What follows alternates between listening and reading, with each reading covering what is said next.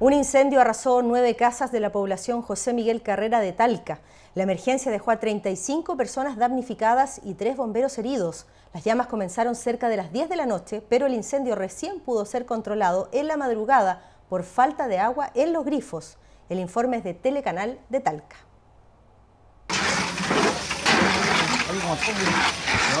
Un incendio de grandes dimensiones mantuvo anoche en alerta a toda la población José Miguel Carrera en Talca, un barrio construido principalmente con material ligero que facilitó la propagación de las llamas. El trabajo no era fácil, puesto que el ambiente era tenso en el lugar, especialmente de parte de los afectados que observaban impávidos cómo sus viviendas eran consumidas por el fuego.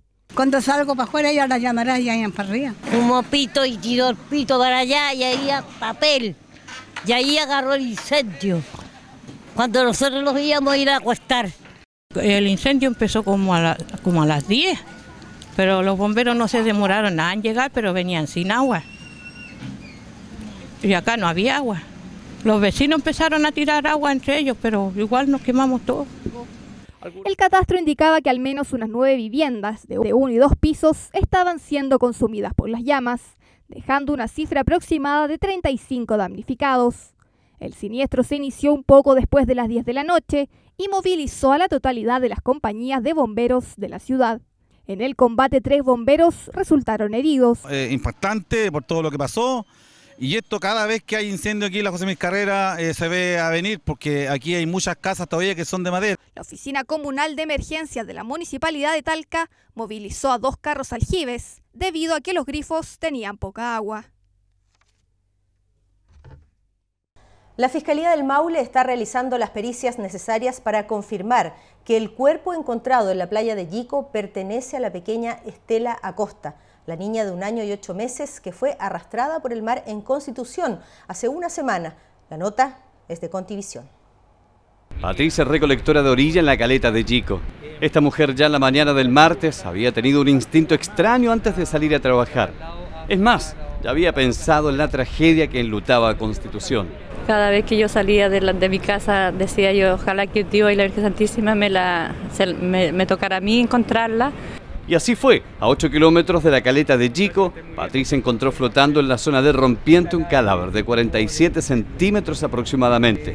Esta mujer no lo dudó un instante a la hora de reaccionar.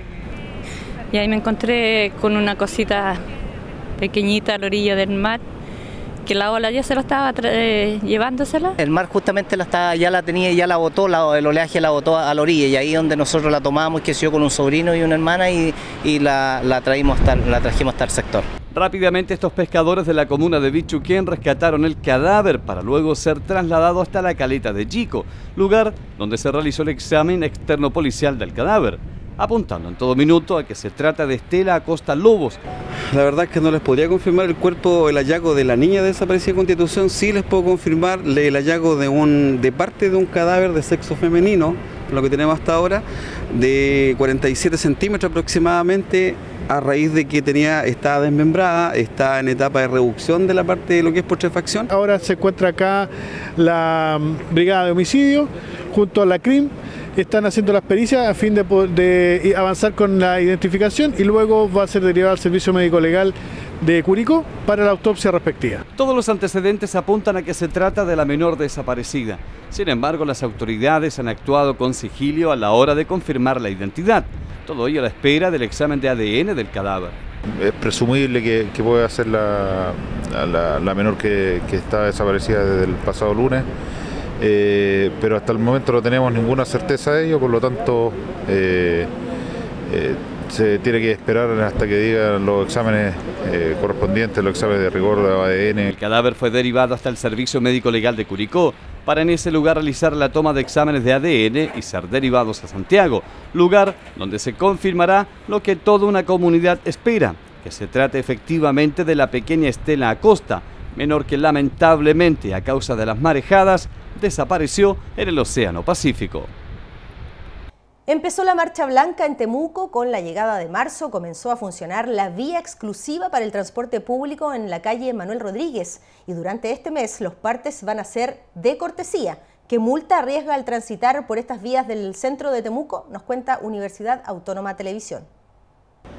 Llegó el primero de marzo y de la mano comienza a regir la vía exclusiva de calle Rodríguez. Después de meses de trabajo, desde este martes solo podrán circular por esta calle vehículos de la locomoción colectiva como colectivos y micros, una medida que valoran sobre todo los choferes de ambas locomociones. Sí, está bien, pues, está bien, sí. ¿Menos tráfico? Menos tráfico, más... Bueno, desde el primero de marzo no, no se pueden meter autos particulares en esta calle. ¿Qué te parece esta medida? Está bien. Está bien, ¿no? Más rápido, la locomoción colectiva. Está buena. ¿Por qué? Sí, porque anda más rápido uno. Los automóviles particulares también podrán transitar, pero solo con un tope de dos cuadras, los que estarán siendo vigilados por una cámara de seguridad que estará directamente enfocada a la patente y en caso de que no se cumpla y sobrepasen estas dos cuadras, automáticamente será multado con un parte empadronado. Lo que sucede es que la vía exclusiva tiene un funcionamiento que está establecido por ley. Lo que no puede hacer el particular es el recorrido completo, desde Barros Sarana hasta Vicuña Maquena. El particular sí puede ingresar a la vía exclusiva, eh, recorrer dos cuadras y luego salir. Eso va directamente con un parte empadronado al juzgado de policía local, eh, aproximadamente 40 mil pesos es la infracción. Con esta nueva medida, los tiempos de la locomoción colectiva deberían reducirse a la mitad, beneficiando el tiempo de todos los temuquenses que utilizan a diario micros o colectivos. Una iniciativa que pronto se intentará establecer en calle Portales de la capital regional, ambas arterias utilizadas sobre todo por las micros de todas las líneas de Temuco. El fenómeno del niño no se quiere retirar de nuestras costas, parece. En Viña del Mar, la avenida Perú va a estar cerrada hasta el 7 de marzo por culpa de las marejadas. Pero el pic se va a vivir este viernes 4 con olas de casi 5 metros. Estas marejadas no solo van a estar presentes en Valparaíso, la alerta va desde Arica y Parinacota hasta Aysén. El llamado de la Armada es a tomar precauciones y no acercarse a los roqueríos ni ingresar a las playas no aptas para el baño. Con esta información nos vamos a la pausa y ya regresamos a Portavoz Noticias. No se vaya. Digamos alto a los incendios forestales. Reutiliza tus residuos, ordena los desechos después de trabajar en el bosque. Utiliza el fuego solo si es necesario. Planifica la quema con tiempo.